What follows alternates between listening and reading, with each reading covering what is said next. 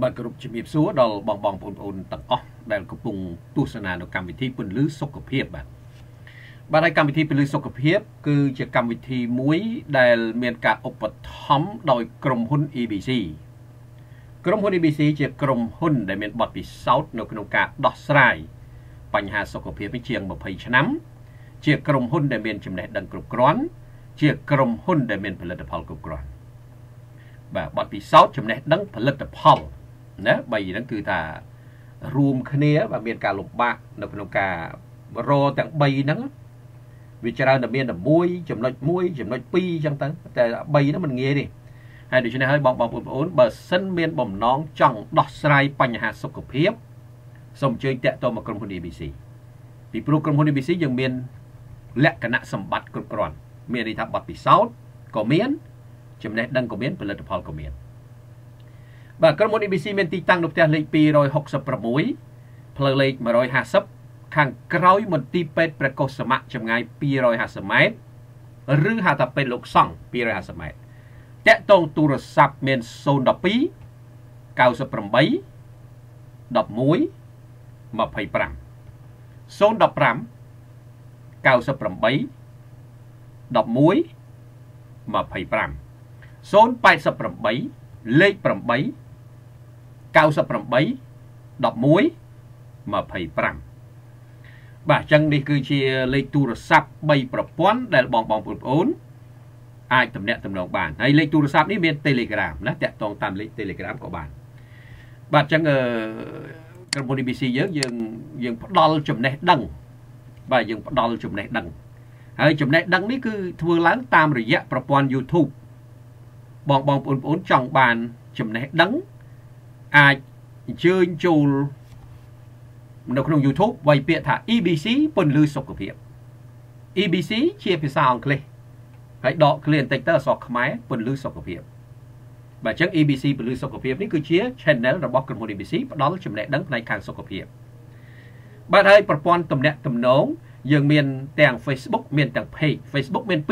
2មួយគឺ Facebook ប៉ាងលីហៅ ហើយមួយទៀតគឺ Facebook ប៉ាងញឿនអក្សរអង់គ្លេសមួយអក្សរខ្មែរមួយបាទហើយចំណែក page មាន3 page មានប៉ាងលីហៅមាន EBC ពន្លឺសុខភាពអានឹងឈ្មោះដូច YouTube ដែរហើយ page មួយទៀតគឺឈ្មោះប៉ាងលីហៅហើយ page មួយទៀតប៉ាងលីហៅ EBC បាទអញ្ចឹងមាននៅក្នុងនឹងហើយណាបងបងប្អូនអាចទំនាក់ទំនងតាម page ហ្នឹងក៏បាន តាម YouTube ក៏បាន តាមទូរស័ព្ទក៏បានណាអញ្ចឹង3ប្រព័ន្ធ3ផ្នែកហ្នឹងមួយណាក៏បានដែរ បាទហើយថ្ងៃនេះយើងបន្តជាមួយប្រធានបទរបស់យើង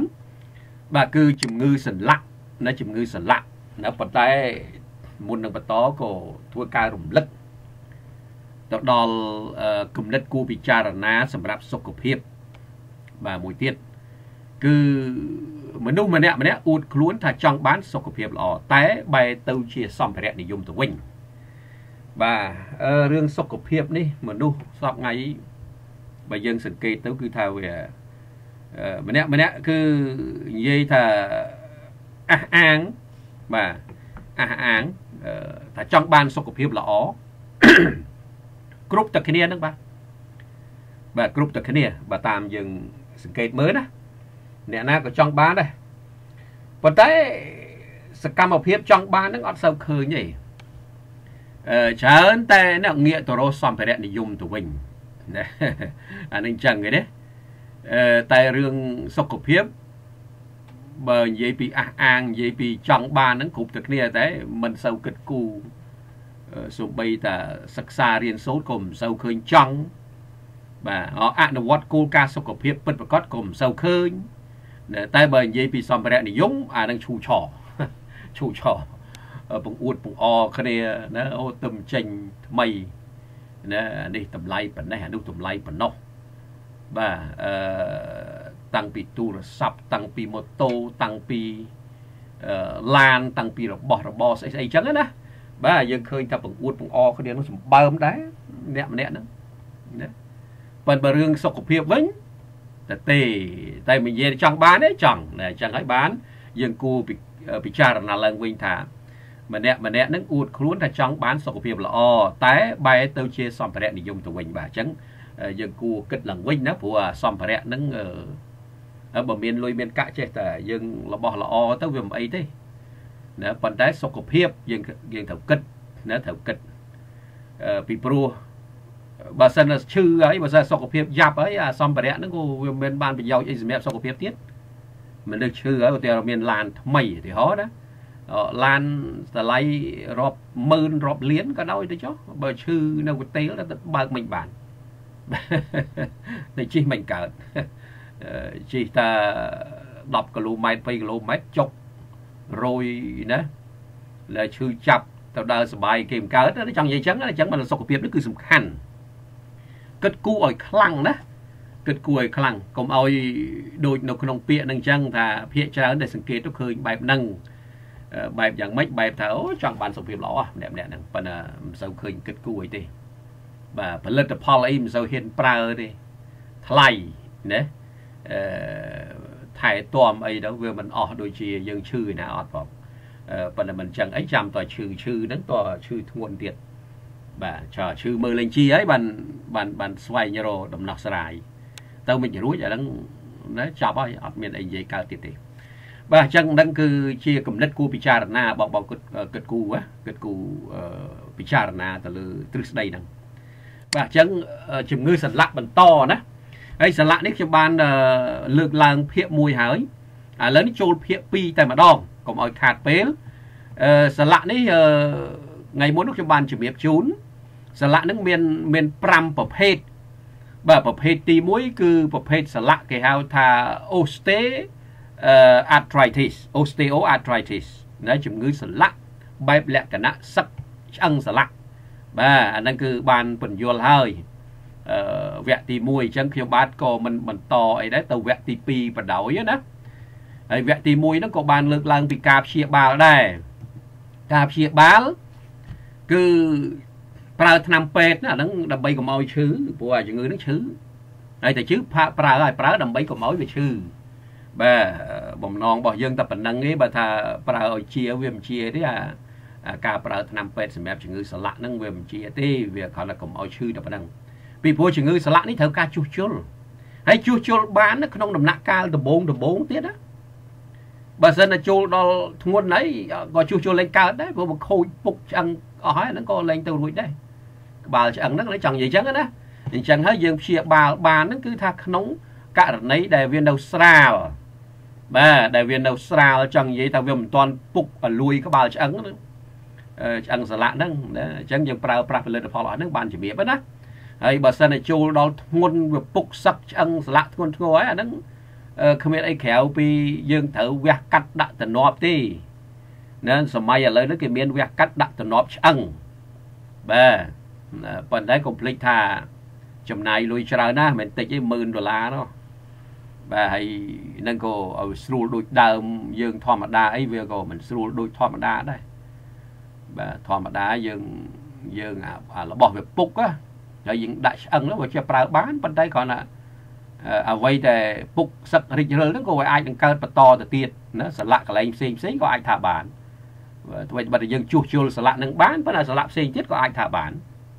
ណា បាទអញ្ចឹងនឹងចង់បញ្យល់ជូនបងបងប្អូនឲ្យបានជ្រាបអញ្ចឹងរឿងបញ្ហាសន្លាក់ហ្នឹងណាអឺនេះជា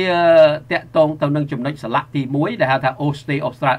osteoarthritis ហ្នឹងគឺនៅប្រភេទសន្លាក់សឹកក្បាលឆ្អឹងនឹងឯងឥឡូវយើងមើលសន្លាក់ទី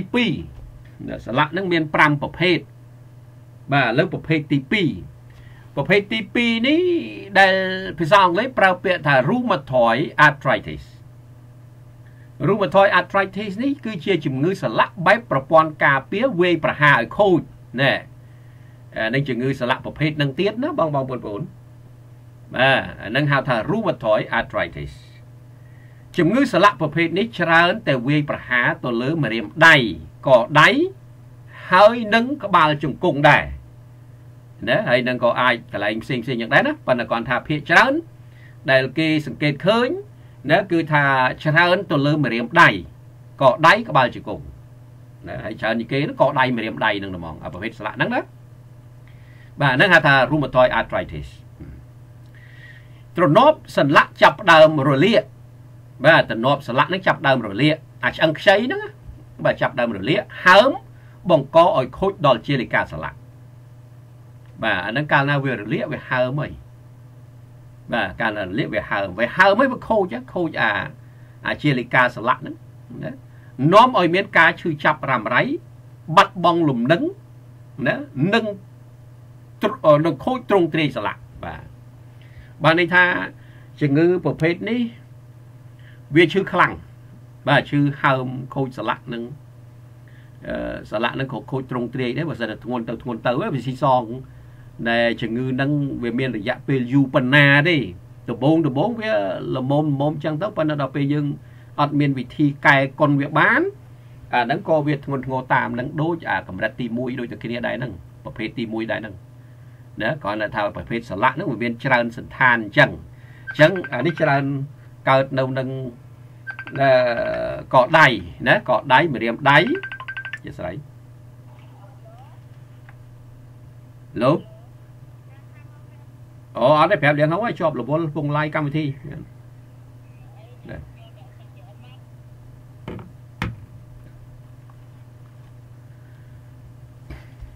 ណាបាត់បង់លំនឹងណាអញ្ចឹងម្ដងទៀតឲ្យបងបងប្អូនបានជ្រាបណាជំងឺសន្លាក់ប្រភេទនេះច្រើនតែវាយប្រហារទៅលើម្រាមដៃកដៃហើយនឹងក្បាលជង្គង់បាទនឹងច្រើនជាគេតែហ្នឹងណាទំនាប់សន្លាក់ចាប់ដើមរលាកហើមបង្កឲ្យខូចដល់ជាលេខាសន្លាក់ បាទបង្កឲ្យខូចដល់ជាលេខាសន្លាក់ហ្នឹងអញ្ចឹងឯង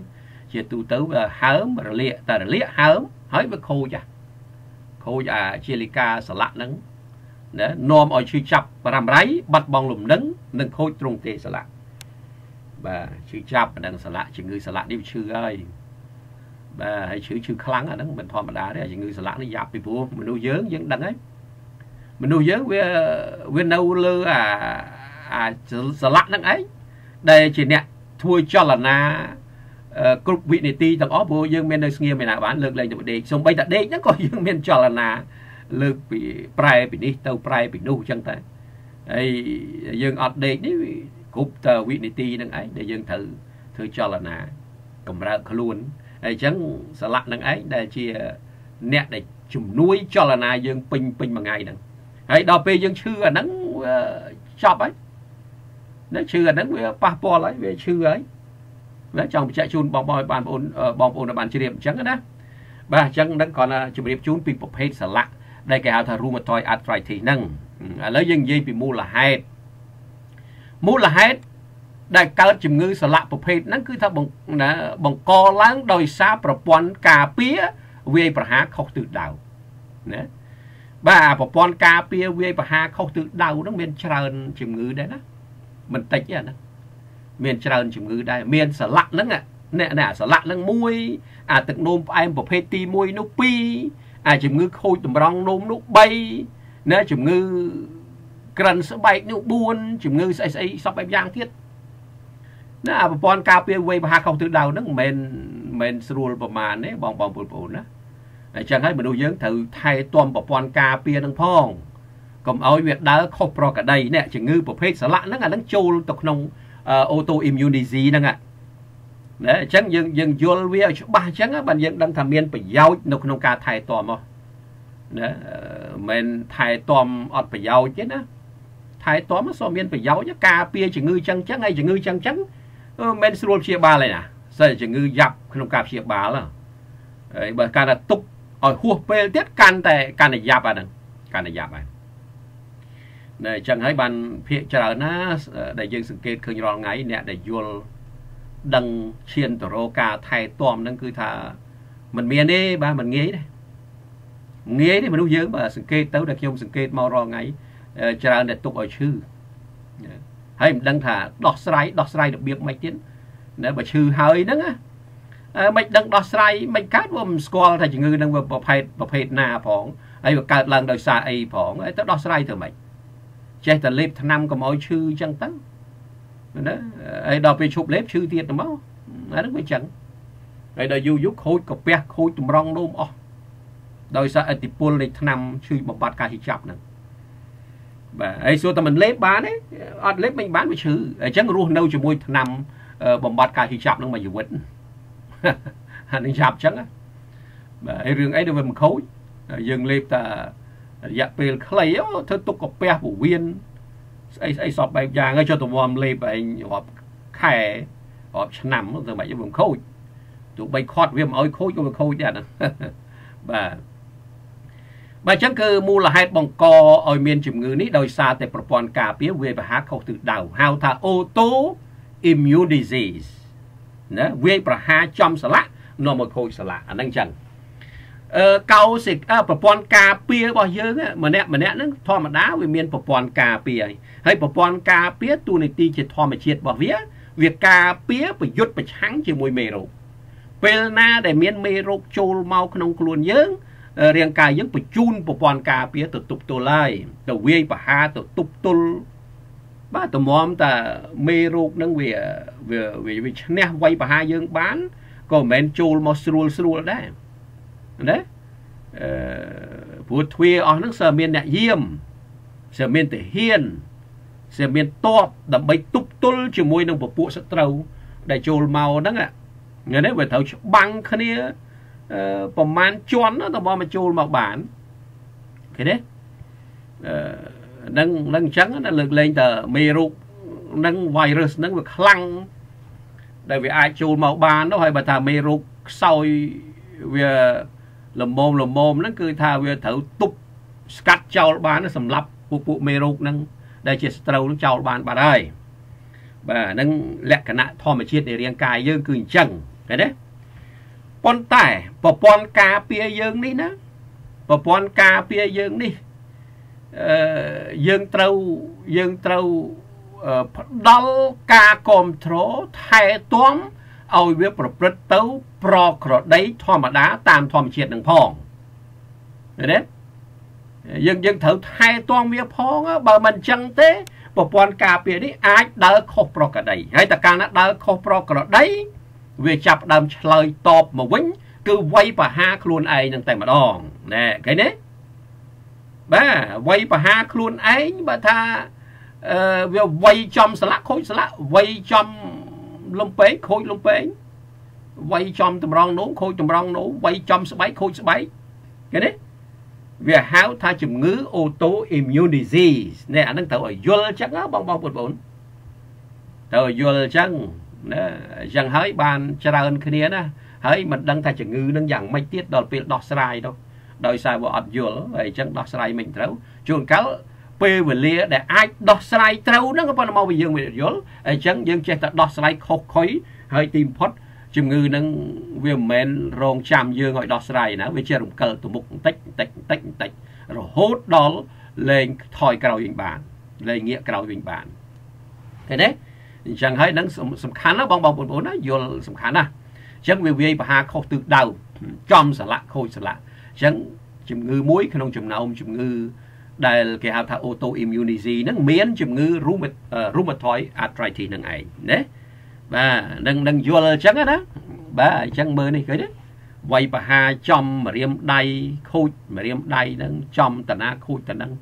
ច្រើនតែម្រាមដៃកដៃកជើងក្បាលជង្គង់អីហ្នឹងណាហ្នឹងហៅថា rheumatoid arthritis ហ្នឹងប្រភេទហ្នឹងហើយតាតាទុកវាធ្ងន់ធ្ងរទៅខូចខូចអញ្ចឹងដូចម្រាមដៃអញ្ចឹងម្រាមដៃហ្នឹងតាខូចវាវាខូចអាទ្រង់ទ្រាយស្លាក់ហើយវាបត់បែនលេងបានអាហ្នឹងអត់កែកុនអីបានតទៀតទេ បាទបានតែលមុំលមុំដបងដបងឯងដែលយើងកែបានអឺហើយបើទុកឲ្យវាខូចទ្រង់ទ្រាយស្លាក់ហើយវាជាប់ឆ្កឹងនៅតំណឹងកែលែងកើតហើយបាទអញ្ចឹងនឹងត្រូវយល់ហើយត្រូវដោះស្រាយចេញកុំទុកណាបើទុកនឹង vivo ដោះស្រាយចេញចប់ហ่ะបាទអញ្ចឹងនឹងហៅថា rheumatoid arthritis ណាបងបងប្អូនបាទហើយតកតងទៅនឹងរឿងព្យាបាល សួរថាតើត្រូវព្យាបាលរបៀបម៉េចព្យាបាលជំងឺសន្លាក់ប្រភេទណាក៏ដោយ គឺទាមទារការប្រើប្រាស់ឱសថនឹងជាដាច់ខាតហេតុអីបានយើងចាំបាច់ប្រើ ពីព្រោះវាឈឺបើសិនវាអត់ឈឺយើងមិនចាំបាច់ប្រើក៏បានដែរប៉ុន្តែជំងឺសន្លាក់នេះវាឈឺបាទវាឈឺអាហ្នឹងលើកលែងតែវាខូចទ្រង់ទ្រាយទាំងស្រុងត្មងអានឹងលែងឈឺហើយប៉ុន្តែខូចហើយណាខូចត្មង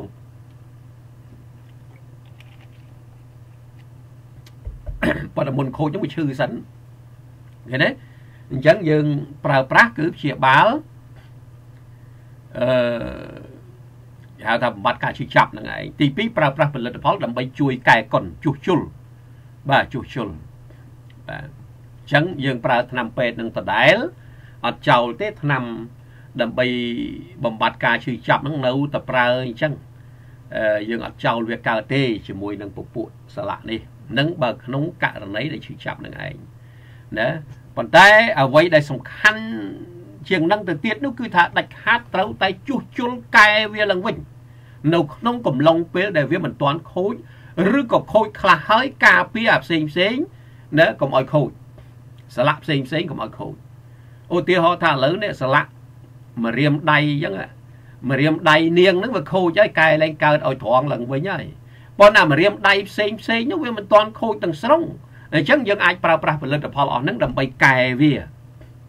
ដើម្បីកែស្លាកហ្នឹងហើយបើយើងមិនកែទេ មានន័យថាអាមរៀមផ្សេងផ្សេងនោះប្រឈមនឹងខូចចិត្តបាទនៅពេលវាស៊ីឆ្អឹងខ្ចីអស់ស៊ីឆ្អឹងខ្ចីនៅស៊ីជាមួយអាឆ្អឹងតាន់ទៀតអាហ្នឹងអាហ្នឹងពពួកប្រព័ន្ធការពារហ្នឹងមិនធម្មតាទេ វាជួយយើងក៏ពិតមែន ក៏ប៉ុន្តែនៅពេលដែលវាវាយប្រហារយើងនៅហើយហ្នឹងនៅហើយវាវាយប្រហារខុសទិសដៅប្រៀបដូចជាអឺដែលមើលគេគេកំ pl ែងលេងរូបភាពរូបថតវីដេអូកំ pl ែងបើមិនកំ pl ែងបែបការពិតមិនដឹងឃើញគេរៀនបាញ់គ្រាប់ផ្លោងឯណាទីហោអញ្ចឹងណាមិនទីហោទេពិតអាសាមើលលេងសើចគេដាក់កំ pl ែងនៅក្នុងវីដេអូហ្នឹងណាបាញ់ធម្មតាបាញ់វាគ្រាប់ផ្លោងវាឲ្យទៅមុខ បាទឲ្យទៅមុខដល់អាគ្រាប់ផ្លោងខ្លះវាអត់ទៅមុខឯណាណាបាញ់ទៅលុតផ្ទិនៅមុខហ្នឹងរត់ចែកជើងគ្នាมันខុសពីបាញ់มันបាញ់បាញ់បំផ្លាញក្រុមខ្លួនឯងហ្នឹងទេធម្មតាបាញ់នោះផឹងអញ្ចឹងទៅវាទៅឆ្ងាយហ่ะបាទ4 10គីឡូម៉ែត្រអញ្ចឹងទៅតាមធំតាមតូចណាហើយដល់ក្របផ្លោងក៏ដាក់នោះផ្ទិណាស្រានៅតែនឹងធ្លាក់មកដូចចំអារង្វង់ អឺដែលក្រមទាហានកំពុងរៀបចំហ្នឹងណាគ្នាឯងហ្នឹងអត់មានទៅឆ្ងាយណាធ្លាក់2ម៉ែត្រនៅមុខហ្នឹងមានណារត់ចែកជើងគ្នាហ្នឹងឧទាហរណ៍អញ្ចឹងណាបានន័យថាវាខុសប្រកដីបាទតាណាមួយហើយបាទដល់យើងផ្ទុះរត់ចែកជើងគ្នាទៅប្រព័ន្ធការពារក៏អញ្ចឹងដែរនៅពេលដែលវាដើរខុសប្រកដីវាវាយប្រហាមិនស្គាល់ថាម្ចាស់ទេ ណារាងកាយនឹងជាម្ចាស់ហើយឥឡូវវាវាយប្រហាលើម្ចាស់ខ្លួនឯងណាហ្នឹងអញ្ចឹងណាអូម៉ាថាឆ្កែចុះធម្មតាយើងឲ្យយាមផ្ទះដេញសัตว์ផ្សេងផ្សេងកាចសាហាវអីចឹងទៅព្រុសបាទមានចៅមានអីណាអប៉ុន្តែពេលណាមួយនោះដែលវាអត់ស្គាល់ម្ចាស់ខំម្ចាស់ខ្លួនឯងតែញយហ្នឹង តែញយហ្នឹងខំម្ចាស់ស្លាប់តែញយហ្នឹងគេទេដែលយើងអាសាឃើញក្នុងខ្សែវីដេអូផ្សេងផ្សេងណាឬក៏ព័ត៌មានផ្សេងផ្សេងហ្នឹងបាទអញ្ចឹងហ្នឹងចង់ប្រៀបធៀបប្រព័ន្ធការពារប្រព័ន្ធការពារហ្នឹងបើសិនជាយើងមិនថែទាំទេអឺថ្ងៃណាមួយវាដើរខុសប្រក្តីដូចអញ្ចឹងវាវាយបហាចំស្លាក់ខូចស្លាក់ចំអីខូចហ្នឹងហើយកើតជំងឺហើយដល់កើតជំងឺហ្នឹងអូដោះស្រាយចេញទៀតហើយប៉ុន្តែទុកហួសពេលហ្នឹងដោះស្រាយលែងចេញហើយ ណែអញ្ចឹងហ្នឹងចំណុចដែលត្រូវប្រើប្រាស់ផលិតផលមាន spirulina maca ណាបំពន់រាងកាយឲ្យដើរប្រក្តីកាល់ស្យូមណាបំពន់ឆ្អឹងឲ្យវាដុះឡើងវិញហើយនឹងអ៊ីស្ទ័រ C នេះប្រឆាំងទៅនឹងការរលាកក៏ជួយឆ្អឹងមួយចំណែកណាជួយបណ្ដុះ collagen បាទហើយនឹងទឹកដោះគោដំបងបាទទឹកដោះគោដំបង ELG6 នេះក៏ជួយកែសម្រួលប្រព័ន្ធការពារដែលវាកំពុងដើរមិនធម្មតាហ្នឹងហើយ collagen នេះបន្ថែម collagen ឲ្យលឿនហើយជួយលាងតម្រង់នោមអីចឹងទៅតាមលទ្ធភាពប៉ុន្តែបើមានលទ្ធភាពប្រើហើយតាន់ពេលវេលាអាហ្នឹងគឺអាចជាឡើងវិញក្នុងដំណាក់កាលដំបូងបងលើកលែងតែថាអូអាលើកធ្ងន់យកមែនតើអាហ្នឹងដឹងធ្វើម៉េចទេអស់ហើយខូចត្រង់ទ្រាយអស់ហើយចប់ហើយមានអីទៀតណា បាទអញ្ចឹងនេះគឺជាប្រភេទសន្លាក់អឺទី2ណាប្រភេទសន្លាក់ទី3គេហៅថា gout arthritis ឬក៏ gouty arthritis ជំងឺសន្លាក់បង្កឡើងដោយអាស៊ីតអេរិកអាស៊ីតអុយរិកគេថាអុយរិកក៏បានអេរិកក៏បានអានឹងយើងហៅតាមភាសាគេណាបាទហើយភាសាសន្លាក់អាស៊ីតអេរិកឡើងហ្នឹងគឺហៅថាកោតណាកោតជំងឺសន្លាក់ប្រភេទនេះហៅថាកោត បង្កឲ្យមានការរលាកហើមឈឺចាប់នៅនឹងសន្លាក់ឈឺចាប់ខ្លាំងរហូតដល់គ្រុនរយៈពេល2ទៅ3អាទិត្យហើយក៏អាចថយមកវិញណាជំងឺនេះវាយប្រហារទៅលើម្រាមដៃម្រាមជើង ជាពិសេសមេជើងណាជំងឺសន្លាក់ប្រភេទនេះបង្កឡើងដោយសារអាស៊ីតអុយរិកឡើងខ្ពស់ក្នុងរាងកាយអាស៊ីតអុយរិកប្រភេទនេះបានហូរកកជាប់ទៅនឹងសន្លាក់ម្រាមដៃម្រាមជើង និងសន្លាក់ផ្សេងផ្សេងទៀតបាទ ជំងឺសន្លាក់ហៅថា gout នេះគឺជាប្រភេទជំងឺសន្លាក់ដែលបង្កឡើងដោយពពួក uric acid ណាហើយភាកច្រើនវាវាយប្រហារខ្លាំងទៅលើម្រាមដៃម្រាមជើង ខ្លាំងជាងគេព្រោះអាស្លាក់ម្រាមដៃម្រាមជើងហ្នឹងវាស្លាក់ហ្នឹងវាចង្អៀតបាទវាចង្អៀតក្បាលជង្គង់អីក៏អាចកើតឡើងដែរប៉ុន្តែគ្រាន់ថាវាមិនសូវធ្វើទុកអីធ្ងន់ធ្ងរទេខ្លាំងបំផុតគឺម្រាមដៃម្រាមជើង ស្លាក់ហ្នឹងវាចង្អៀតដល់ពេលវាចង្អៀតទៅពពួកអាស៊ីតហ្នឹងវាហូរទៅកកជាប់នឹងទៅនឹងម្ដងអញ្ចឹងព្រោះឈាមធម្មតាវាហូរឈាមយើងវាមិនហូរទៅចុងដៃចុងជើងហើយវាមិនហូរត្រឡប់មកវិញឃើញទេហូរទៅហូរមកហូរទៅហូរមកហើយដល់ពេលហូរទៅវានាំអាពពួក uric acid ហ្នឹងទៅកកចាក់ជាប់នឹងអាសាឡាក់ហ្នឹងអឺម្រាមដៃម្រាមជើងម្ដងតិចម្ដងតិចម្ដងតិចដល់ហូរមកវិញវាមានទាញមកហើយណា វាអត់ទាញមកទេព្រោះវាចាក់ជាប់ហ្នឹងហើយអា molecule របស់ពពួក uric acid ហ្នឹងអឺដូចបន្លាអញ្ចឹងអាហ្នឹងណាឡាតូចមើលមិនឃើញទេតោះយើង ប្រើពពួក microscope ដើម្បីពិនិត្យមើលបាទដល់អញ្ចឹងវាទៅចាក់ជាប់អីយូយូយូទៅវាជាប់កាន់តែខ្លាំងវាធ្វើឲ្យបែកស៊ីសិចអឺរិចរិលលាកអាឆ្អឹងខ្ចីហ្នឹងទៀតបាទហើយ អាអាភាកច្រើនជាងគេហ្នឹងគេច្រើនជាប់អាកន្លែងមេជើងបាទជាប់ជាប់អាហ្នឹងជាប់អាមេជើងហ្នឹងបាទអានឹងជាប់ខ្លាំងជាងគេព្រោះស្លាក់កន្លែងហ្នឹងវាចង្អៀតខ្លាំងណែអញ្ចឹងហើយបានដល់បងបងប្អូនត្រូវយល់ណាជំងឺនេះគឺជាជំងឺសន្លាក់មួយបែបទៀតគឺបកកឡើងដោយពពួក uric acid ឃើញទេពពួកអាស៊ីត uric ហ្នឹងវាឡើងខ្ពស់កាលណាឡើងខ្ពស់វាយប្រហារទៅលើសន្លាក់នឹងកិច្ចមិនផុតទេ ណាពពួកអាស៊ីត uric ហ្នឹងតាមពិតវាមាននៅក្នុងរាងកាយយើងរួចស្រេចហើយណាប៉ុន្តែដោយកត្តាដែលយើងចម្រោះវាអត់អស់ហើយបូករួមជាមួយនឹងកត្តាអាហារមួយចំនួនដែលជាកត្តាបកណាជាពិសេសនឹងពពួកមានពពួកសារជាតិ purine ច្រើនបាទពពួកគ្រឿងសមុទ្រពពួកអីហ្នឹងសាច់អីច្រើនពេកហ្នឹងក៏អត់បានដែរ ពួកហ្នឹងវាបង្កើតទៅជាសារជាតិពពួក uric acid ហ្នឹងឃើញទេអញ្ចឹងកាលណាវាមានច្រើនពេកអត់បានទេនៅក្នុងរាងកាយយើងណាវាបង្កើតទៅជាជំងឺសន្លាក់ប្រភេទខៅតកោតនឹងឯងហើយអាហ្នឹងចាក់ជាប់បាទចាក់ណាអាស៊ីតអេរិកហ្នឹងចឹងឥឡូវយើងមើលនេះឃើញទេបាទអាហ្នឹងដូចម្សៅសសអញ្ចឹងបើសិនវាស្ងួតវះមកយកយកកបិតវះមកចេញដូចម្សៅអញ្ចឹងណា ម្សៅសសអាហ្នឹងហៅថា uric acid ហើយហ្នឹងអញ្ចឹងហើយជំងឺសន្លាក់ប្រភេទហ្នឹងវាយប្រហារខ្លាំងហ្នឹងម្រាមដៃម្រាមជើងហ្នឹងខ្លាំងផុតណាអាចនៅកន្លែងផ្សេងផ្សេងដែរណាប៉ុន្តែកន្លែងម្រាមដៃម្រាមជើងហ្នឹងគឺច្រើនណាអញ្ចឹងបងបងប្អូនត្រូវយល់ពីជំងឺសន្លាក់ប្រភេទហ្នឹងមួយទៀតណាហើយបើសិននៅក្នុងករណីយើងព្យាបាលអត់ទាន់ទេក៏វានឹងខូចទ្រង់ទ្រាយដូចគ្នាអញ្ចឹងណាខូចទ្រង់ទ្រាយសន្លាក់ដូចគ្នាម្រាមដៃហ្នឹងអាចនឹងស៊ីប៉ោងខូចណាអឺ ដូចគ្នាហ្នឹងមិនមិនមិនខុសពីអារូម៉ាតយអាត្រៃធីសប្រមាណទេអាសន្លាក់ប្រភេទប្រព័ន្ធការពារវាយបហាហ្នឹងមិនសូវខុសគ្នាប្រមាណទេគ្រាន់តែមួយប្រព័ន្ធការពារវាយបហា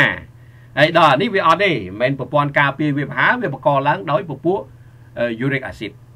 ប៉ុន្តែជំងឺសន្លាក់ខ្លះទៀតវាមានការផ្សំគ្នាបាទវាមានការផ្សំរវាងអានេះបន្តិចរវាងអានោះបន្តិចចឹងណាបាទរវាងចឹងចឹងទៅបាន ណាណែវាបង្កើតទៅជាជំងឺសន្លាក់មួយទៅណាអញ្ចឹងក៏អញ្ចឹងដែរអ្នកខ្លះសន្លាក់ហ្នឹងកើត2 3សន្លាក់ខ្លួនឯងចឹងទៅ2 3ប្រភេទខ្លួនឯងចឹងទៅណាអ្នកខ្លះមកប្រភេទអញ្ចឹងអ្នកខ្លះកើត2ប្រភេទអ្នកខ្លះ3ណាដល់អញ្ចឹងវល់ពេញទៅអស់មិនដឹងណាណីទេបាទហើយកកតាព្យាបាលហ្នឹងតើយើងយល់វាបើមិនយល់វាទេពិបាកក្នុងការដោះស្រាយដែរបាទអញ្ចឹងប្រភេទជំងឺសលាក់ហាលតកោតណាប្រភេទចឹងចឹងយើងមើលទៅ ណាកើតចឹងអាហ្នឹងម្សៅសសបើវះមកគឺចេញម្សៅនឹងល្មង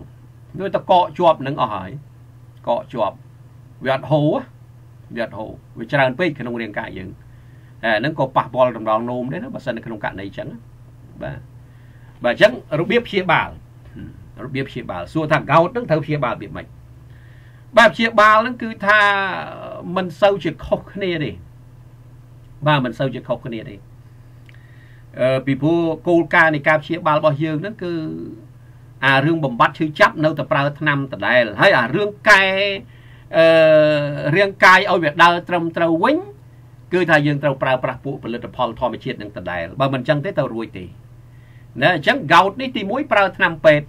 ណាថ្នាំប៉ុន្តែថ្នាំពេទ្យដែលត្រូវប្រើជាមួយកោតគឺថ្នាំបថយអាស៊ីតនឹងហ្មងបាទថ្នាំបថយអាស៊ីតនឹងបើបថយហ្នឹងគឺ គ្រាន់តែថាយើងប្រើបថយមិនមែនប្រើតែថ្នាំនឹងអាចថយបានលឿនទេអត់ទេហើយថយហ្នឹងក្នុងករណីដែលវាស្រាលដែរទេណាបើចូលដល់ធ្ងន់ក៏ងាយអត់ងាយដែរណាហើយវាមានក្នុងការបំបត្តិឈឺចាប់ក្នុងហ្នឹងហើយណាហើយទី2ប្រើប្រាស់ផលិតផលធម្មជាតិជួសជុលស្លាកនឹងកែកុនណាអញ្ចឹងយើងត្រូវធ្វើម៉េចអថ្នាំថ្នាំពេទ្យដែលត្រូវប្រើពួកថ្នាំបន្ថយអាស៊ីតនឹងឯងណាប្រើទៅ ប៉ុន្តែបើក្នុងករណីធ្ងន់ធ្ងន់ហ្នឹងក៏ថយវាបានបើយើងប្រើទៅដើម្បីជំនួយខ្លះណាដើម្បីជំនួយខ្លះហើយថ្នាំហ្នឹងក៏វាជួយនៅក្នុងការកុំឲ្យយើងឈឺចាប់ដែរអញ្ចឹងអាហ្នឹងប្រភេទថ្នាំពេទ្យដែលយើងត្រូវប្រើណាគឺពួកថ្នាំបន្ថយអាស៊ីតណាចាំបាច់ត្រូវប្រើណាទី2ផលិតផលដែលត្រូវប្រើហ្នឹងក៏ដូចគ្នាអញ្ចឹងដែរគឺផលិតផលប្រមាណមុខនេះចាំបាច់ត្រូវប្រើដើម្បីអីដើម្បី ជួសជុលផងនិងជួយឲ្យប្រព័ន្ធអឺដែលពាក់ព័ន្ធទៅនឹងអាស៊ីតហ្នឹងគឺវាវាដើរស្រួលផងដូចជា spirulina maca យើងចាំបាច់ត្រូវប្រើចាំបាច់ត្រូវប្រើណាហ្នឹងព្រោះដើម្បីអីដើម្បីឲ្យរាងកាយយើងហ្នឹងវាមានតុល្យភាពឡើងវិញបំពន់រាងកាយហ្នឹងឲ្យមានតុល្យភាពអូប្រភេទនៃ Colexi Plus ក៏យើងចាំបាច់ត្រូវប្រើដែរហេតុអីចាំបាច់ត្រូវប្រើ ពីព្រោះយើងត្រូវត្រូវធ្វើម៉េចឲ្យលំហូរឈាមហ្នឹងវាខ្លាំងឡើងវិញឲ្យវាល្អឡើងវិញព្រោះអាជំងឺហ្នឹងវាពាក់ព័ន្ធអាអាលំហូរឈាមហ្នឹងដែលឈាមលំហូរមិនស្រួលផងក៏អាចនាំឲ្យពពុះអាស៊ីតនឹងកកដែរអញ្ចឹងយើងត្រូវប្រើប្រាស់ Colexi Plus ហ្នឹងជួយសម្រួលអយើងត្រូវប្រើប្រាស់ពពុះ Ester C ដើម្បីរំលាយ molecule acid ហ្នឹងបាទដើម្បីរំលាយ molecule acid Ester C ហ្នឹងណាយើងត្រូវប្រើប្រាស់ collagen ដើម្បីជួយបដោះអា collagen នៅស្លាកនឹងឡើងវិញផងដែរហើយទឹក chlorophyll มันអាចចោលបានទេជំងឺប្រភេទនេះទឹក chlorophyll វីតាមីន C, Ester C, Spirulina maca អឺហើយនឹងអា Colexi Plus ហ្នឹងគឺថាចាំបាច់ផលិតផលប្រមាណមុខចាំបាច់ទឹក chlorophyll យើងប្រើប្រាស់ដើម្បីលាយជាមួយទឹកដើម្បីផឹកហើយវាជួយទាញយក molecule អឺ uric acid ហ្នឹង acid uric ហ្នឹងដែលជាប់សន្លាក់ហ្នឹងឲ្យវាថយទៅវិញផងកុំឲ្យវាកកស្ទះបន្ថែមហើយអាកកស្ទះតូចតាចល្មមល្មមផឹកទៅគឺថាវាទាញយកទៅអស់វិញបាទទឹក chlorophyll សំខាន់ណាស់ហ្នឹងណាអញ្ចឹងហើយបានអ្នកដែលមានជំងឺសន្លាក់ហៅថាកោតពពុះអាស៊ីតឡើងខ្ពស់នាំឲ្យខូចសន្លាក់ហ្នឹងចាំបាច់ត្រូវប្រើបំផុតជាមួយទឹក chlorophyll Easter C ហើយនិង Spirulina maca ហើយនិង Colexi Plus ចាំបាច់ណាស់ហ្នឹងបាទអញ្ចឹងហើយបានថាអ្នកដែលគាត់មានជំងឺអឺគេហៅថា gout ណាជំងឺសន្លាក់បែបបែបអាស៊ីតឡើងហ្នឹងបើថាវាស្រាលស្រាលទេ សម្រុកប្រោឲ្យជាហ្មងកុំទុកដល់ខូចទ្រង់ទ្រាយស្លាកណាផ្ដាំផ្ញើណាបាទកុំទុកដល់ខូចទ្រង់ទ្រាយស្លាកបើកាលណាខូចទ្រង់ទ្រាយអាហ្នឹងវាធម្មតាវាមិនស្រួលទេតែខូចទ្រង់ទ្រាយហើយណាបាទអញ្ចឹងនេះគឺជាការព្យាបាលបងបងប្អូនណាសូមជម្រាបជូនអញ្ចឹងជំងឺកោតហ្នឹងគឺ ចាំបាច់ត្រូវប្រើប្រាស់ពពុះឱសថនឹងដែរដើម្បីជួយនៅក្នុងការបន្ថយអាស៊ីតហើយនឹងកុំឲ្យឈឺចាប់ហើយចាំបាច់ត្រូវប្រើប្រាស់ខានមិនបានគឺផលិតផលចូលដល់ស្លាកទី4បាទប្រភេទស្លាកទី4អញ្ចឹង5ស្លាកណាបាទ5ប្រភេទស្លាកទី4នេះគឺជាប្រភេទស្លាកមួយផ្សេងទៀតវាមិនចំជារឿងស្លាកហ្មងទេប៉ុន្តែគេចាត់ជុកចាត់ទុកនៅក្នុងស្លាកនឹងដែរ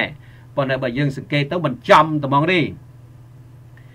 បាទជំងឺសន្លាក់ប្រភេទទី4នេះគេហៅថាជំងឺសន្លាក់ឈឺចាប់ពេញរាងកាយណាទាំងសន្លាក់ផងទាំងសាច់ដុំផងអានេះឈឺចាប់យកតែហ្មងសន្លាក់ក៏ឈឺអាមិនសន្លាក់ក៏ឈឺដែរជំងឺប្រភេទនេះណាបាទ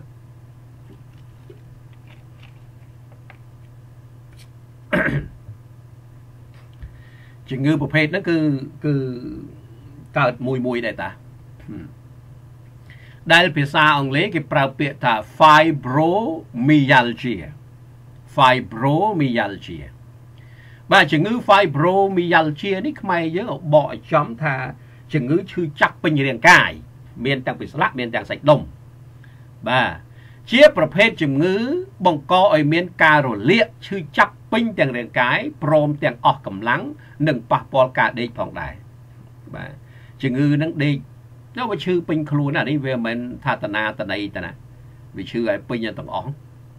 ណាអា fibromyalgia ហ្នឹងណាអាសន្លាក់ហ្នឹងក៏វាឈឺអាក្រៅពីសន្លាក់ក៏ឈឺឈឺពេញរាងកាយអាហ្នឹងជំងឺ fibromyalgia ហ្នឹងអញ្ចឹងបងបងប្អូនណាបាទអ្នកវិទ្យាសាស្ត្រមិនបានដឹងឲ្យពិតប្រាកដថាតើជំងឺប្រភេទនេះ កើតឡើងដោយសារអ្វីនោះទេតែមនុស្សដែលមានជំងឺប្រភេទនេះឆាប់ទទួលរងការឈឺចាប់ជាងមនុស្សធម្មតាបាទជំងឺនេះបើយើងនិយាយឲ្យចំទៅអ្នកវិទ្យាសាស្ត្រគេរកមូលហេតុពិតប្រាកដអូឃើញតែហ្មងគឺថាវា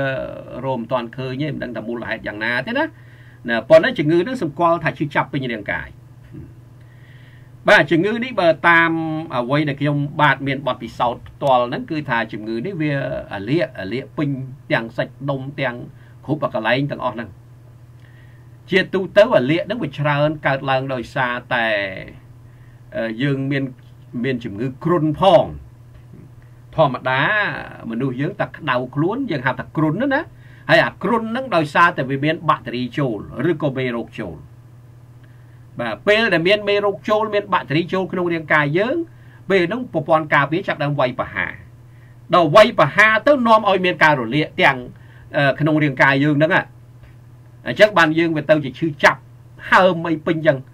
បាទអានឹងអញ្ចឹងអញ្ចឹងហើយជំងឺនេះបើយើងសម្គាល់វាទៅវិញបើតាមអ្វីដែលជាការសិក្សាស្រាវជ្រាវថាអ្នកវិទ្យាសាស្ត្រគេរកមិនឃើញប៉ុន្តែបើតាមបទពិសោធន៍មកថាវាវាមានការរលាកដោយសារយើងវាមានជំងឺគ្រុន យើងវាមានជំងឺគ្រុននឹងផងហើយវារលាកផងអញ្ចឹងវាទៅឈឺពេញរាងកាយអញ្ចឹងទៅឈឺពេញរាងកាយអញ្ចឹងទៅហើយសំខាន់មួយទៀតចេះតាមពិតអាការរលាកគ្រុនផ្សេងផ្សេងការរលាកហ្នឹងគឺថារាងកាយយើងជាអ្នកផ្សះហើយប៉ុន្តែដោយសារទំហំនៃការរលាកហ្នឹងខ្លាំងជាងការផ្សះរបស់រាងកាយដូច្នេះយើងវាអត់ជាទេតើយើងរកជំនួយតើយើងរកជំនួយឃើញទេ បាទអញ្ចឹងហ្នឹងចង់បញ្យល់ជូនឲ្យបងបងប្អូនប្អូនបានជ្រាបអាជំងឺ fibromyalgia ហ្នឹងវាកើតឡើងជាពិសេសអ្នកដែលអាសាគ្រុនអាសាឈឺហ្នឹងអឺច្រើនកើតចំពោះអ្នកហ្នឹងបាទច្រើនកើតចំពោះអ្នកហ្នឹងអ្នកអ្នកអាសាមានរាងកាយឆាប់ទទួលរងណាឆាប់ទទួលរងហើយយើងហៅថាប្រព័ន្ធការពារខ្សោយហ្មងទៅអាហ្នឹងក៏បានដែរហៅថាអញ្ចឹងក៏បានដែរអានេះឈឺពេញខ្លួនប្រាណបាទវាមិនមែនចំជាប្រភេទស្លាក់ទេបាទមែនទេណា ជំងឺនឹងកើតឡើងម្ដងម្កាលអញ្ចឹងឈឺអញ្ចឹងទៅអឺសំខាន់អ្នកណាដែលដូចយើងដឹងហើយថាអាសាឈឺអាសាអីហ្នឹងវាច្រើនកើតអ្នកដែលមានប្រព័ន្ធការពារខ្សោយនឹងអាសាកើតហ្នឹងបាទអាសាអាសាកើតជំងឺ fibromyalgia ហ្នឹងចឹងអឺជំងឺនេះប្រភេទបែបហ្នឹងឯងហើយសំណួរសួរថាតើត្រូវដោះស្រាយយ៉ាងណាអ្នកឈឺចឹងបងបងប្អូនណាឈឺចឹងឈឺទៅនេះឈឺទៅនោះរោមុខមិនឃើញ អាស្លាក់មិនចំស្លាក់អាស្អីមិនចំស្អីឈឺហើយពេញតែខ្លួនហ្នឹងអាហ្នឹង fibromyalgia ហ្នឹងបាទឈឺចឹងណាហើយដំណោះស្រាយត្រូវធ្វើម៉េចទៀតដំណោះស្រាយដាច់ខាតត្រូវប្រើថ្នាំទៀតហើយអត់ចោលទេអារឿងថ្នាំហ្នឹងបាទអត់ចោលទេថ្នាំពេទ្យបំបត្តិការឈឺចាប់ហ្នឹងយើងត្រូវតែប្រើបើមិនប្រើមិនបានទេមិនប្រើមិនបានទេព្រោះឈឺអញ្ចឹង ត្រូវតែប្រើប៉ុន្តែសំណួរសួរថាចុះបើប្រើតែថ្នាំពេទ្យនឹងបានទេអត់បានទេណាវាអត់ជាទេយ៉ាងច្រើនគ្រាន់តែមកអន់អញ្ចឹងទៅហើយឈឺទៀតហើយជួនកាលបាត់មួយរយៈដែរអ្នកខ្លះអាចប្រើថ្នាំទៅបាត់មួយរយៈខ្លីអញ្ចឹងហើយឈឺទៀតអាសាឈឺទៀតបន្តិចឈឺបន្តិចឈឺបានមួយអាទិត្យពីរអាទិត្យបានកន្លះខែមួយខែពីរខែអីក៏មានដែរបាត់ហើយឈឺទៀតតែមានគ្រុនមកឡើងឈឺទៀតដែរ អ្នកខ្លះគេគ្រុនដែរគេឈឺដែរឈឺសាច់ដុំឈឺរាងកាយដែរប៉ុន្តែវាមិនមិនខ្លាំងវាឈឺល្មមល្មមណាបាទប៉ុន្តែជំងឺតកាណាចូល fibromyalgia ហ្នឹងវាឈឺខ្លាំងទ្រាំបានបើយើងមិនរកអីជំនួយទេឈឺឲ្យដល់ថ្នាក់អឺខ្លាំងហ្នឹងមិនធម្មតាទេណាអញ្ចឹងដាច់ខាតទៅប្រើឱសថដដែលបាទអ្វីដែលយើងត្រូវជួយដោះស្រាយដើម្បីឲ្យឆាប់ជាផង ហើយនឹងកុំឲ្យអាសាកើតញឹកញាប់ផងអានឹងគឺនេះប្រើផលិតផលទៀតណាដើម្បីបង្កើនកម្លាំងរាងកាយយើងឲ្យខ្លាំងណាបាទអញ្ចឹងអញ្ចឹងនេះថ្នាំដែលត្រូវប្រើហ្នឹងគឺប្រើឱសថណាទី1ប្រើថ្នាំពេទ្យបំបត្តិការឈឺចាប់ដដែលនឹងទី1បាទអទី2ប្រើប្រាស់ផលិតផលផលិតផលដែលគួរប្រើនេះគឺថាប្រមាណមុខនេះទៀតហើយគាត់តែយើងផ្លាស់ប្ដូរគ្នា spirulina maca ហ្នឹងត្រូវប្រើ galaxy ហ្នឹង Easter ហ្នឹងដដែលហើយនឹងពពួក omega 3ហើយទឹក chlorophyll បើប្រើផលិតផលប្រមាណមុខហ្នឹងទៅឲ្យដាក់ជាមួយពួកអសុទ្ធទៅបាត់ហើយបាទហើយបើបានប្រើជាប់លាប់វិញជំងឺនេះអត់ងាយកើតដែរជំងឺ fibromyalgia ហ្នឹងណាអត់ងាយកើតទេឧទាហរណ៍បើយើងប្រើប្រាស់ផលិតផលឲ្យបានជាប់លាប់អញ្ចឹងហើយបានពេលខ្លះយើងប្រើឲ្យជាហើយយើងប្រើថែទាំ បាទប្រើថែទាំបាទថែទាំយើងប្រើតែប្រមាណមុខចឹងទៅដូចជា spirulina maca ដូចជា Easter C ដូចទឹក chlorophyll អីចឹងទៅណាបាទ omega 3អីក៏ប្រើទៅអានឹងស៊ីសងលទ្ធភាពទេបាទលទ្ធភាពគឺបើប្រើជាប់គឺអត់ងាយកើតទេអា fibromyalgia ហ្នឹងហើយបើថាអត់អត់បានប្រើប្រាស់ផលិតផលហ្នឹងងាយកើតណាតាមស្រួលមួយអាទិត្យ2ដងអីហ្នឹងតាមស្រួល2 3ដង ហើយបើក្នុងសម័យកាលដែលយើងកំពុងតែមានជំងឺអឺផ្ដាសាយជំងឺ Covid ប្លែកប្លែកថ្មីថ្មីអីច្រើនតទៀតនេះអានឹងងាយកើតទៀតអា fibromyalgia ហ្នឹងងាយកើតបាទអញ្ចឹងដឹងផលិតផលដែលគួរប្រើណាបងបងប្អូនឥឡូវចូលដល់ជំងឺសន្លាក់មួយទៀតចុងក្រោយ5ប្រភេទជំងឺសន្លាក់ណាបងបងប្អូនបាទជំងឺសន្លាក់គឺ5ប្រភេទ ទី1យើងហៅថា osteoarthritis ជំងឺសន្លាក់បែបសឹកឆ្អឹងសន្លាក់អានឹងកើតច្រើនជាងគេឲ្យតែចាស់ចាស់កើតរឿងនឹងច្រើនហើយហើយទី2យើងហៅថា rheumatoid arthritis ជំងឺសន្លាក់ដែលប្រព័ន្ធការពារវាយប្រហារណាទៅលើសន្លាក់ណាហើយទី3ហៅថាជំងឺ gout សន្លាក់បែបអាស៊ីតឡើងណាហើយទី4ជំងឺ fibromyalgia អាជំងឺគេហៅថាឈឺចាប់ពេញរាងកាយទាំងសាច់ដុំទាំងសន្លាក់ណាហើយទី5នេះចូលអាជំងឺមួយទៀតគេហៅជំងឺសន្លាក់កើតចំពោះក្មេងធម្មតាក្មេងកើតសន្លាក់ទេក្មេងមិនងាយទេជំងឺសន្លាក់នេះកើតតែមនុស្សចាស់បាទកើតតែមនុស្សចាស់ប៉ុន្តែ វាមានករណីខ្លះដែលកើតចំពោះក្មេងដែរណែដែលដែលឃើញក្មេងកើតសន្លាក់នេះដែលបាទមិនអត់ដែលទេ ហើយក្មេងកើតជំងឺសន្លាក់ហ្នឹងគឺវាជំងឺយ៉ាងម៉េចអាហ្នឹងគេហៅថា childhood ឬក៏ juvenile arthritis ណា juvenile arthritis ដល់ខ្មែរយើងបកប្រែថាជំងឺសន្លាក់កើតចំពោះក្មេងណាបាទជំងឺសន្លាក់កើតចំពោះក្មេងៗអាយុត្រឹម16ឬក្រោម16ជួនកាលវាអាចលើសដែរណាមិនមែនតែអានេះគ្រាន់តែជាឯកសារស្រាវជ្រាវពេលកាលអាចលើសហ្នឹង បាទអាចលើសហ្នឹងចង់បញ្ជាក់ជូនអញ្ចឹងណាបាទអញ្ចឹងជំងឺសន្លាក់ណាអាយុក្រោមក្រោម16លើ16ជាស្រ័យមានលោកគ្រូពេទ្យគាត់ទេតិច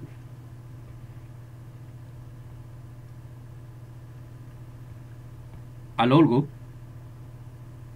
អាឡូបាទលោកខ្ញុំរវល់តិចលោករវល់តិចចាំចប់កម្មវិធីតិចខ្ញុំទៅវិញខ្ញុំយាមទេទៅវិញ អាឡូគ្រូលឺឡូគ្រូបាទចាំខ្ញុំទេវិញគ្រូចាំទេវិញព្រោះជាប់កម្មវិធីចិត្តចប់បាទបាទ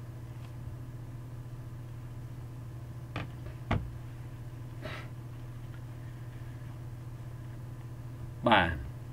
អញ្ចឹងជំងឺសន្លាក់បែបបែបក្មេងៗគេថាកើតចំពោះក្មេងណាឥឡូវយើងមើលណា ជាប្រភេទជំងឺសន្លាក់កើតចំពោះមនុស្សវ័យក្មេងអាយុត្រឹម16ឬក្រោមហ្នឹងអាចលើសហ្នឹងតិចក៏មានដែរណាមិនមែនថាកំណត់100%ត្រូវតែអញ្ចឹងទេណាក្រោម16 14 13កម្រអាហ្នឹងវានិយាយចំថាកម្រកើតណាមួយមួយទេ100អ្នកអីជួនកាលមានមិនដល់1%ផងមិនសូវមានទេបាទប៉ុន្តែមានកើតឡើងណាក៏មិនសូវមានបាទ ជំងឺសន្លាក់ប្រភេទនេះវាយប្រហារសន្លាក់មួយឬក៏សន្លាក់ច្រើន ហើយមានរយៈពេលខ្លីណាមិនជាខែឬឆ្នាំបាទរយៈពេលរយៈពេលខ្លីជាខែឬជាឆ្នាំវាមិនមែនថាយូរវែងដូចជំងឺសន្លាក់បែបមនុស្សចាស់ណាបើបើយូរវែងដូចសន្លាក់បែបមនុស្សចាស់ហ្នឹងវាវាយូរនេះអាចថាជាខែអញ្ចឹងឬឆ្នាំអីចឹងទៅនៅប្រភេទជំងឺអញ្ចឹងខុសពីជំងឺសន្លាក់ rheumatoid arthritis ណាជំងឺសន្លាក់ចំពោះក្មេងៗកើតឡើងដោយសារតែប្រព័ន្ធការពារវ័យប្រហារណាចំសន្លាក់និងកោសិការបស់សន្លាក់នាំឲ្យខូចបាទជំងឺនេះគេចាត់ទុកចូលទៅក្នុង autoimmune disease ដែរដូចអាជំងឺសន្លាក់អឺប្រភេទ rheumatoid arthritis ចឹងដែរឃើញទេគ្រាន់តែថាវាវាចំពោះក្មេងអញ្ចឹងអាប្រព័ន្ធការពារនេះតើកាលណាវាដើរខុសប្រក្រតី ណាវ័យបហាចំស្លាក់ខូចស្លាក់ដូចគ្នាអញ្ចឹងមិនប្រកាន់ថាក្មេងថាចាស់ទេណាគ្រាន់តែគេគេបែងចែកទៅជាក្មេងអញ្ចឹងទៅព្រោះជំងឺស្លាក់កើតចំពោះក្មេងហ្នឹងវាពិសេសពិសេសវាកំរណាកំរកើតណាអញ្ចឹងបងបងប្អូនយល់ណាបាទអញ្ចឹងនឹងអាយុអឺត្រឹមតែ20ត្រឹមក្រោម20អីហ្នឹងដែលវាមិនគួរកើតជំងឺប្រភេទស្លាក់នេះ ចំពោះក្មេងៗប៉ុន្តែវាមានករណីមួយមួយកើតហើយអាករណីមួយមួយកើតហ្នឹងមកពីប្រព័ន្ធការពារវាយប្រហារដូចគ្នាណាបើថាវាកើតឡើងដោយសឹកឆ្អឹងខ្ចីដោយយ៉ាងណាយ៉ាងណាហ្នឹងវាមិនចឹងទេ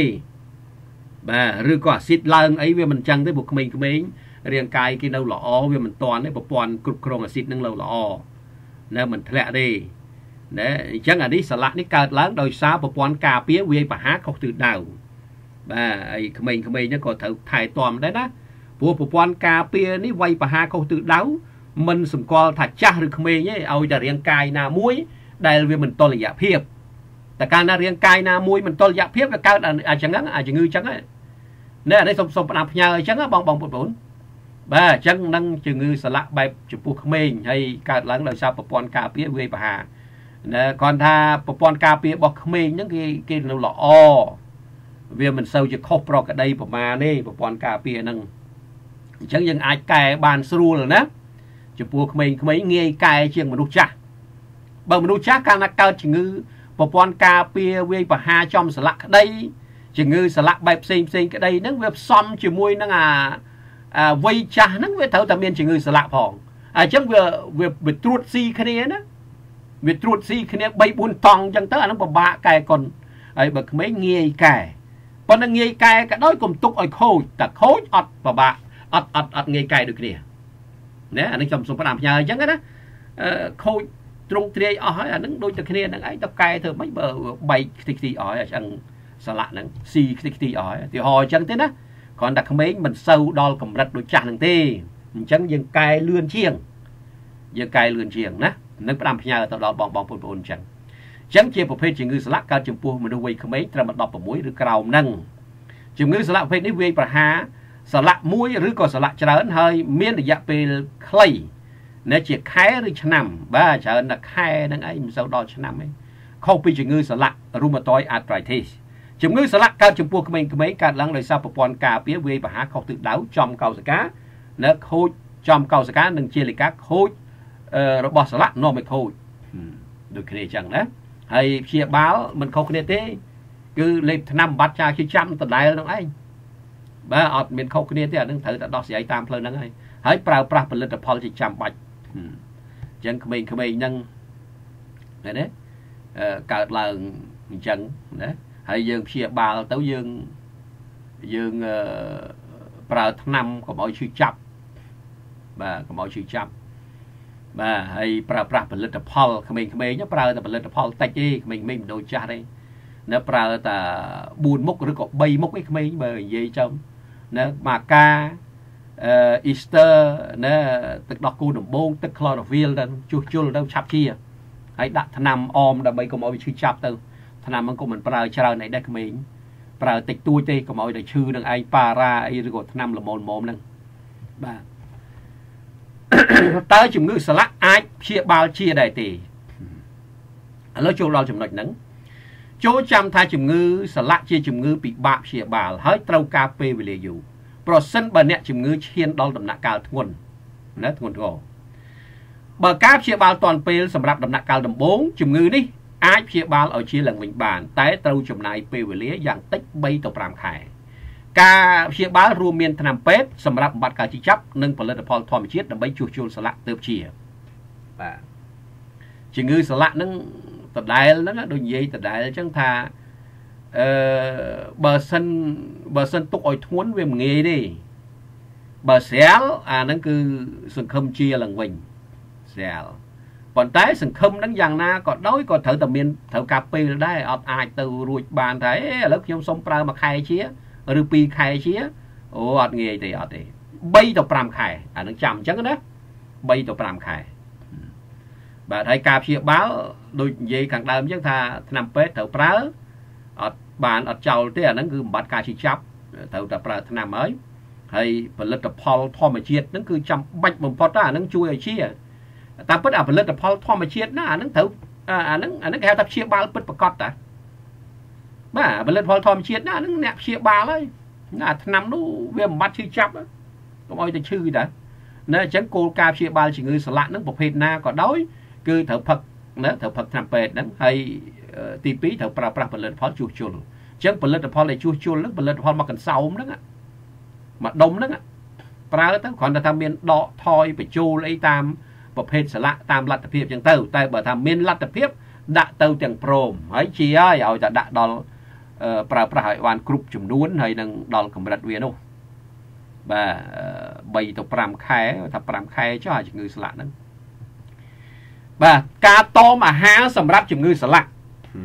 ស្លាក់នេះត្រូវតមដែរណាអឺតមអាហារជាពិសេសហ្នឹងជំងឺស្លាក់បែបអាស៊ីតឡើងអាហ្នឹងតមខ្លាំងជាងគេណាហើយអាហារដែលត្រូវតមហ្នឹងគឺសាច់សាច់ហ្នឹងអត់បានទេដាក់ទៅឈឺឥឡូវហើយសាច់គ្រឿងសមុទ្រ ស្រាបៀស្រាណាធម្មតាហ្នឹងមិនចាំបាច់ស្រាបៀទេស្រាធម្មតាហ្នឹងក៏ត្រូវតមស្រាបៀហ្នឹងក៏អញ្ចឹងគ្រឿងសមុទ្រណាសាច់ក្រហមអាហារផ្អាប់មួយចំនួនណាអាហ្នឹងគឺចាំបាច់ត្រូវតមណាដើម្បីអីដើម្បីបន្ថយអឺបញ្ហាឃើញទេហើយសលាក់ដែលត្រូវតមដាច់ខាតគឺសលាក់អាស៊ីតឡើងនឹងហ្មងបាទសលាក់ផ្សេងផ្សេងវានៅគ្រាន់បើណាបាទសលាក់អាស៊ីត អាស៊ីតឡើងនេះដាច់ខាតហើយត្រូវតមណាអញ្ចឹងផ្ដាំផ្ញើបងបងប្អូនទាំងអស់សាច់ក្រហមគ្រឿងគ្រឿងគ្រឿងសមុទ្រណាបកាបកងក្តាមខ្យងហ្នឹងអាហ្នឹងអត់បានទេណាគ្រុំងាវហ្នឹងឈឺដាក់ទៅឈឺឥឡូវហើយ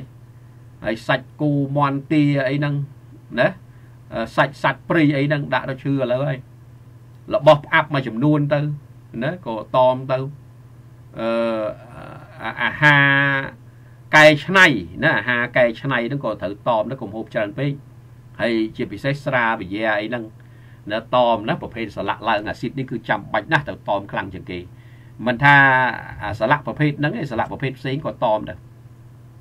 បាទអញ្ចឹងនឹងតាក់តងនឹងអាហារតមណាបាទអញ្ចឹងឥឡូវចប់ហើយបងបងប្អូនណាភាគ2នេះគឺជាភាគបញ្ចប់ណាចូល2ម៉ោងអឺភាគមុន1ម៉ោងភាគនេះ1ម៉ោងទៀតណាបើយើង កាត់លឿនហ្មងខ្លាចមិនយល់អញ្ចឹងយើងសង្ខេបអឺអឺខ្លីៗអញ្ចឹងទៅដើម្បីអឺអឺណែសម្រាយឲ្យបានលំអិតតិចចឹងទៅដើម្បីបងបងប្អូនបានយល់ណាបាទអញ្ចឹងសម្រាប់បងបងប្អូនដែលមានបញ្ហាសន្លាក់យើងមើលមើលថាខ្លួនយើងកើតសន្លាក់ប្រភេទណាបាទអឺហើយគួរដោះស្រាយរបៀបម៉េចអញ្ចឹងអាចមើលឲ្យមើលទៀតទៅមើលសារដើមមើលឲ្យបានកាន់តែច្រើនទៅកាន់ល្អនឹងសូមផ្ដាំផ្ញើទៅកាន់បងបងប្អូនទាំងអស់ណា ហើយកុំភ្លេចបានមើលឲ្យជួយ share តតគ្នាផងឲ្យបងបងប្អូនប្អូនដទៃហ្នឹងគាត់ចេះគាត់ដឹងគាត់យល់ផងបាទហើយជួយប្រាប់តតគ្នាបើសិនដោះស្រាយឯណាមិនទាន់ចេញនោះគឺថាមករកក្រុមហ៊ុន EBC ក្រុមហ៊ុន EBC គឺថាជាក្រុមហ៊ុនដែលមានបទពិសោធន៍នៅក្នុងការដោះស្រាយបញ្ហាសុខភាពនេះជាង20ឆ្នាំហើយណាហើយយើងមានផលិតផលមានការយល់គ្រប់គ្រប់គ្រាន់ បាទអញ្ចឹងបើដោះស្រាយណាមិនចេញសូមអញ្ជើញមករកក្រុមហ៊ុន EBC លេខទូរស័ព្ទក្នុងនឹងមានណាអាស័យដ្ឋានអីក្នុងនឹងមានហើយចំណេះដឹងនៅក្នុង YouTube អញ្ចឹងបានទស្សនាឲ្យកុំភ្លេចជួយ share តតគ្នាបាទសូមអរគុណសូមជម្រាបលាសម្រាប់ប្រធានបទតាក់ទងទៅនឹងជំងឺសន្លាក់ដែលជំងឺសន្លាក់នេះមាន5ប្រភេទខុសៗគ្នាណា